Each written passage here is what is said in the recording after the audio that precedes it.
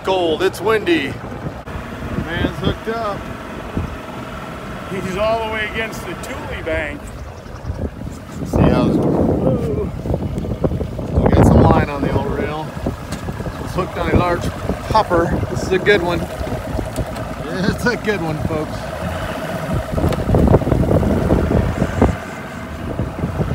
Should I tell him that the hooks are barbless?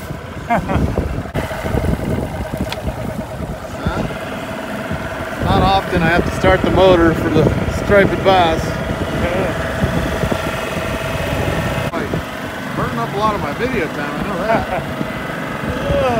thing is ripping line. Yeah, he's, he's loose. That was a big splash when he came up. Looked like somebody threw a TV at me. and what was I just telling you about right by the boat? He was in five cranks from me taking it out of the water. Large Marge right here, boys and girls. Show himself. We're gonna get a look. We're gonna get a look at this beast.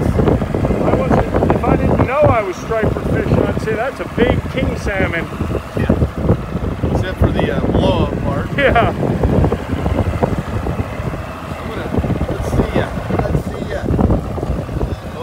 gosh. Oh. That's a big one.